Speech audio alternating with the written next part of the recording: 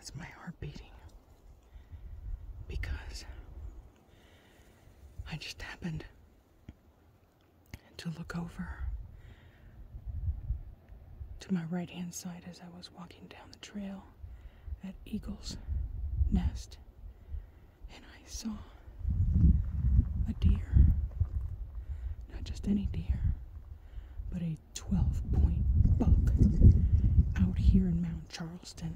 This is the second time in my 15 years of hiking up here that I've actually seen a 12 point buck.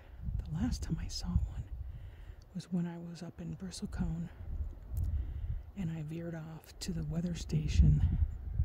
And as I was climbing up, I startled him and he ran away up the side of the mountain. But this one is not afraid.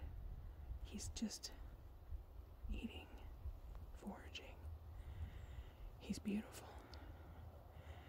I feel so lucky to have been able to see him there.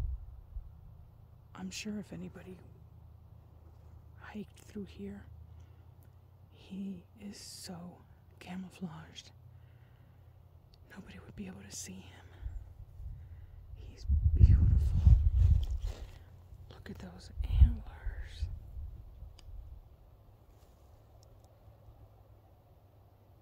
He is healthy. It's so good to see that he's healthy.